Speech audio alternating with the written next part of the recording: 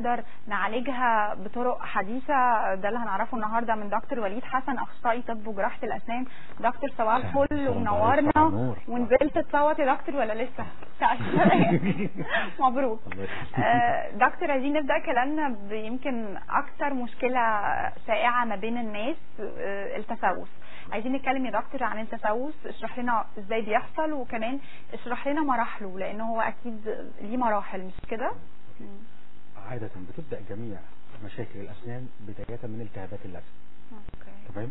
لأن بيبقى عندنا مشكلة أو عادة سيئة للأسف في طبيعة غسيل اللثة أو الأسنان إن إحنا بنحاول نعملها على مدار اليوم أو مرة ما نعملش أو أو أو. إحنا بيهمنا قوي إن بعد أي وجبة يفضل إن أنا لازم أعمل غسيل الأسنان بحيث أشيل بواقي وفضلات الطعام اللي بقت موجودة على طبقة المينا بتاعت السنان اللي بتبدأ بعدها تكون لي طبقة البلاك. OK؟ لو أنا أهملت فيها شوية بيبدأ بعدها ممكن يدخل بين اللثة اللي هي الجيوب بتاعة الأسنان يبدأ يحصل فيها تواجد للبكتيريا لأن ده وسط ملائم جدا للبكتيريا اللي موجودة في البق لأن موجودة مم. البكتيريا اللي موجودة عندنا في البق دي متعايشة. تمام؟ بس دي بكتيريا لا هوائية يعني بكتيريا ما بتحبش الأكسجين. تمام؟ فالجيوب دي بتبقى أماكن بعيدة عن الأكسجين فبتبدأ تبقى متراكمة فيها مع أي فضلات من الأكل يبدأ يحصل تخمر. دي. أول مرحلة من مراحل التخمر. بعدها يعمل أحماض. ده أول فترة من المراحل بتاعة التسوس. تمام؟ عندنا مراحل التسوس نفسه في تسويس بسيط وتسويس متقدم. تسويس بسيط اللي هو بدأ بس يأثر لي في طبقة المينا. مم. خارجية الطبقة الطبقة الخارجية. بتاعت المينا. ودي المفروض دي من اقوى الطبقات. OK؟ لو أهملنا فيه شوية يبدأ يخترقها بالأحماض اللي اتكونت فيدوب جزء من السنة لحد ما يوصل لطبقة. العاج. مشكلة طبقة العاج إن تحتها العصب على طول بتاع. السنة أو الضرس اللي هو مديني الإحساس فعشان كده بيحصل تبتدي ألم تحصل. آه، مشاكل في العصب فنبتدي نحس بقى الألم. يعني ده يا دكتور يخلينا نقول إنه لو حصل تسوس آه، اللي هو الظاهري أو المبدئي ده إحنا مش هنحس بألم. ما بيبقاش فيه إحساس بالألم. أحيانا بيبقى في بعض الناس اللي عندهم حساسية أعلى شوية آه. مع السائع ممكن يتعبهم مع الحلويات.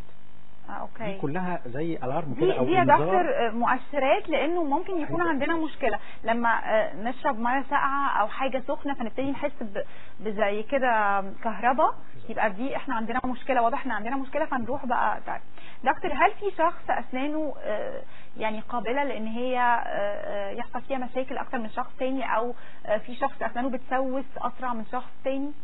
هي دي بنقدر نقسمها لحاجتين. في بالنسبة للأطفال دول بيبقى معدل التسوس عندهم إلى حد ما أعلى شوية لأن السنان بتاعتهم بتبقى أسنان لبنية فسهل إنها تدوب أكتر من ال ال الأشخاص ال- ال- البالغين.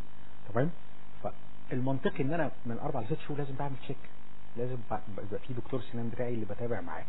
بحيث لو في أي حاجة في الأول هتقدر تتلحق ما استناش لحد ما تعمل لي التهابات لثة تخش لي التسوس متقدم العصب يظهر الكلام طب هو ليه دكتور الناس كده عندها ثقافة أو فكرة إنه أسنان الأطفال دي لما يحصل فيها مشاكل فمش مهم قوي إن إحنا نعالجها؟ لأنه هي هو بعد شوية الولد هيغير سنانه وهتطلع له السنان الدائمة فبالتالي أي مشاكل تحصل آه، آه، في المشاكل آه، أي مشاكل تحصل في الأسنان أو اللبنيه مش مهم إن إحنا نعالجها. ده غلط طبعا دي, صح؟ دي أخطر طبعا ليه يا دكتور؟ لأنه ممكن بعد كده يعمل مشاكل بقى في السنان الدائمه هي دي بدايات يعني الأول بيبقى لو نمو الفك بتاع الطفل طبيعي بس لو عندي ضرس أو سنه حصل فيهم تسوس وبدأ يحصل إهمال من الوالدين إن الضرس أو السنة دي. ما أقدرش إن أنا ألحقها في الأول يتعمل لها أنواع من الحشوات بتاعة الأطفال. لو خلعت الضرس يستنوا لحد ما يبدأ يعمل آه، مشاكل في اللثة ويبدأ يعمل أورام وتبدأ تعمل خراريج تبقى مشكلة في الطفل. غصب عنه هو ال ال رد الفعل بتاعه بيعيط أو مش عايز ياكل. أوكي تمام؟ فدي طبعا بتأثر عليه. في بقى الأكتر إن يبقى حاجة مدمرة إن هو يخلعوا له الضرس أو السنة دي. يعني المفروض إن عند الأطفال كل ضرس أو سنة ليه ميعاد معين إنه يتشال عشان هيطلع ال- الضرس البدلي بتاعه لكن, اللبني لكن ممكن السنة تتأخر إن هي آه، تتخلع أو تتلخلخ.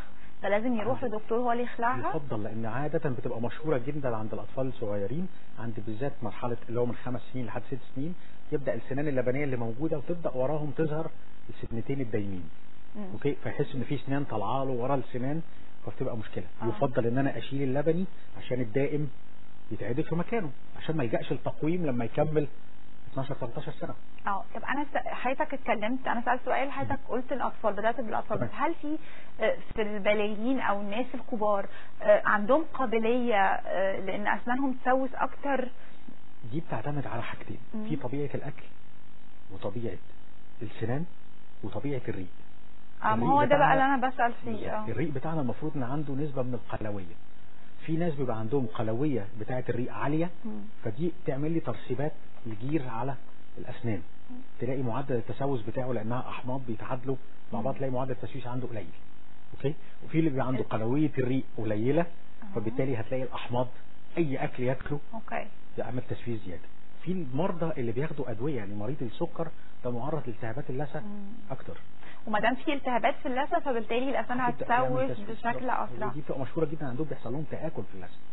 طب دكتور دلوقتي الشخص عارف إن هو مريض سكر أو عنده قابلية لأن أسنانه تسوس بشكل أسرع هل في بقى إجراءات احترازية كده زي ما بيقولوا نعملها مع الشخص ده عشان أسنانه ما يلاقيهاش فجأة كده كلها سوست؟ دي بتبقى حاجتين بتعتمد لي على السكر بتاعه نفسه. هل controlled ولا مش كنترولد مم. هل مظبطه وبيعمل check أول بأول ولا لأ. تمام يبقى كده لازم مع ال- الطبيب بتاعه بتاع السكر لازم يبقى عامل معاه متابعة لو السكر وال- فيه لخبطة يا دكتور طالع ونازل بيحصل أوقات مشاكل يحس إن السنان بتتلخلخ. ولو السكر اتظبط يحس إن السنان مسكت سبتت آه فدي حركة عارف إن يبقى فيها يعني عمالة تعلى وتوطى تتحرك وتقف في مشكلة مم. بس إحنا للأسف الناس ما بتجيش غير لما تبقى خلاص في آه. ألم هو مش قادر لكن لو لحق من الأول وأنا عندي يعني على المستوى الشخصي في عيادتي عندي ناس كتيرة اللي هي بنتابع أول بأول. آه. نعمل لهم تنظيف للثه مم. ده بصورة دورية وتشيك للسكر. طب دكتور عايزين نتكلم برضو عن مشكلة تانية برضو بتتسبب في التسوس بعد شوية لو هي ما اتعالجتش أو يعني أهملناها. الجيوب يا دكتور. آه، برضو في ناس معرضة أكتر لإن يظهر في اللثة عندها جيوب في بعض أكتر من ناس المرضى مثلا بياخدوا أدوية بتاعت أعصاب أو كده دي بتأثر على اللثة. مم. فترة الحمل. في عندنا مرض من أو ورم من الأورام اسمه ورم الحمل. تمام؟ إن بيحصل التهابات في اللثه تورم في اللثة يا دكتور أثناء خلال خلال الحمل. فترة الحمل. مم. لأن كل الهرمونز والإنزيمز بتاعت الجسم في فترة الحمل بتختلف. آه. مع المناعة بتقل مع البكتيريا يحصل لها نشاط. طالما المناعة بدأت تقل يبدأ البكتيريا يحصل لها نشاط على طول. تبدأ دايما تسمع في اللثة. في بعض الحالات اللثة بيحصل لها ورم لحد ما بتغطي ثلاث أرباع السنان مم. فبرضه بنبقى عاملين متابعه معاهم إن بعد الولاده بنطمن هل بدا يحصل انحسار للثه لوحده اللي تورمت ولا بتحتاج إن إحنا نتدخل جراحيا إن إحنا نعمل لها زي يعني قص لل- للثه اللي هي الزيادة دي يا دكتور؟ مم. بيحصل اصل اللثة اللي زادت أو. طولت. آه. جراحيا بتبقى بسيطة جدا وتحط بعدها pack كده يعني مادة عليه على ال- ال- اللثه اللي هي اللي شلنا منها جزء لحد ما يحصل لها healing ما فيهاش مشكلة خالص. ده هايل طب دكتور نتكلم بقى عن أسنان المرأة الحامل وكتير جدا زي ما حضرتك قلت بيحصل لستات مشاكل خلال شهور الحمل. هما بيخافوا الستات بتخاف إن هي تيجي تعالج أسنانها خلال شهور الحمل. ده مظبوط ولا لأ؟ و... اتفضل ده مظبوط أصلا؟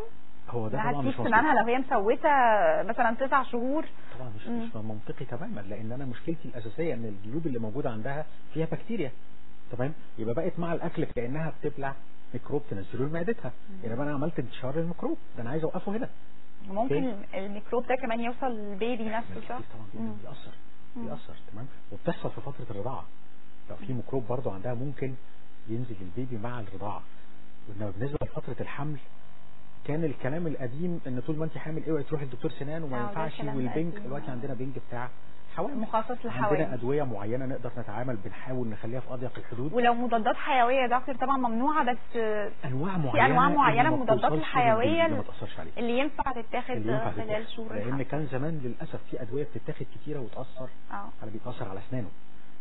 ياه أسنان ال baby نفسه؟ آه. بداية ترسيبات الكالسيوم بتاعة ال baby من ست أسابيع وهو جنين طب دكتور أنا فاكرة إن أنا يعني أقول موقف شخصي بس أنا فاكرة إن أنا خلال شهور حملي حصلت لي مشكلة تسوس في ضرسي وبعدين الدكتور قال لي إحنا هنحشي حشو مؤقت لغاية لما تولدي وبعد كده آه يعني هنستبدل الحشو المؤقت ده بحشو دائم بس أنا ما فهمتش يعني أنا فضلت مثلا خمس شهور آه عاملة الحشو المؤقت ده. أنا أعرف الحشو المؤقت ده بيقعد أسبوع 10 أيام بالكتير بس ده يقعد خمس شهور. هل في أنواع خاصة؟ الماده في حشو آه بالظبط. هو ممكن المادة اللي حطها لحضرتك اللي بنستعملها كأننا بنعمل عزل للضرس أوكي عن ال- ال- المحيط بتاع البق. آه. فده ممكن المواد دي بتبقى أصلب شوية من تقدر تقعد معانا لفترة طويلة. تمام؟ فدي مش المادة المؤقتة اللي هي temporary filling اللي هو يتحط ثلاث من ثلاث لخمس أيام. لا في مواد تانية بتبقى hard شوية. طب دكتور عايزين نتكلم كمان عن الأكل اللي ممكن آه، يعني لو إحنا أكلناه ودي كانت طريقة أكلنا طول الوقت ده بعد كده هيتسبب لنا في مشاكل في أسناننا وتسوس وجيوب. هو المفروض إن إحنا مع أي وجبة لازم زي ما بقول لحضرتك إن هو بعدها يفضل إن أنا أعمل غسيل الأسنان يبقى أنا شلت كل فضلات الطعام اللي موجودة على سطح السنان وممكن تخش في الجيوب وتعمل لي تأكل في اللثة وتبدأ المرحلة. المفروض إن أنا بعدها. اللي بيهمنا جدا جدا إن قبل النوم بساعة على الأقل هغسل سناني وخلاص مفيش أكل أو شرب. لأن ربنا جعل عندنا الريق نفسه عنده خاصية اسمها washing effect إن هو نفسه كأنه بيغسل الأسنان كأنه غسيل. زيتي أو بالظبط. تمام؟ مع وجود الإنزيمات اللي موجودة فيه لأن أنا الهضم بيبدأ منه ما يقرب من 65% في البق يعني حضرتك بتلتوي الأكل لحد ما يبقى خلاص بقت يعني الطرية خالص مع الغدد اللعابية اللي موجودة تحت اللسان بتفرز إنزيمات بتبدأ تدوب في الأكل زيادة بحيث ينزل للهضم يستكمل هضمه أوكي؟ مم. ولكن لو عندي مشاكل أو دي برضو بيعاني منها اللي ما عندهمش اسنان مخلع سنان كتيرة. اللي هو بيفتقد سنان مريض سكر آه، كان في مشاكل كان في إهمال وخلع أسنان كتيرة. نعم. فبالتالي كمية الندغ عنده كفاءتها مش عالية فبيبدأ يحمل على المعدة لأن هو ما ندغش 65% بتاعت الهضم اللي بدأت في الفم. فتلاقيهم دايما بيعانوا من مشاكل في عسر هضم وانتفاخات. مشكلة تانية خالص. دكتور دايما أنتوا تنصحونا انه اغسلوا أسنانكم؟ يعني لأن غسيل الأسنان ده يعني أكيد بيجنبنا مشاكل كتير. في ناس بتقول أنا بغسل اسناني مرة الصبح أول ما بقوم ومرة بالليل وبالرغم من كده بيحصل لي مشاكل كتير في اسناني أنا عايزة أعرف بقى يا دكتور هل ده مرتبط بإنه لأ هو الصبح وبالليل ده مش كفاية؟ ده لازم بعد كل وجبة المفروض نغسل اسناننا ولا إيه بالظبط؟ إحنا بتيجي حضرتك برضو بيدخل فيها اختلافاتين في إحنا طبيعة السن أصلا غسيل الأسنان يكافح التسوس. ما يمنعش تسويس آه لكن ما يمنعهوش لا لا. أيوه. يعني لو عند حضرتك معدل التسويس عالي أوكي؟ يبقى هيقلل من المعدل بس لكن مش هيمنع حدوث. التسوس. ليه برضو مش هيمنع؟ لأن إحنا الشعيرات بتاعت فرشة السنان السمك بتاعها في عندنا بعض الناس بيبقى التضاريس بتاعت سطح الضرس أو السنة بتاعتهم تبقى رفيعة جدا. فبالتالي. مهما هغسل بفرشة السنان okay أنا بشيل من الفضلات بس ما بشيلش 100% okay، آه. بشيل ما يقرب برضو من 60 70% فبدل ما الضرس يسوس في خلال سنة أنا خليته أربع خمس سنين آه مع ال check اللي أنا بعمله مع الدكتور بتاعي لو في أي.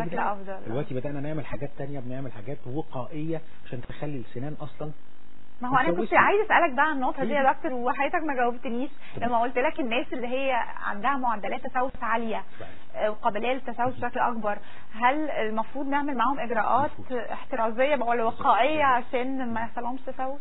بيبقى في عندنا دلوقتي حاجة اللي هي مادة الفلورايد okay؟ المفروض إن الفلورايد دوت ليه عندي ثلاث وظائف. الفلورايد بيمنع البكتيريا اللي بتبدأ تعمل تخمر في بداية مراحل التسويس.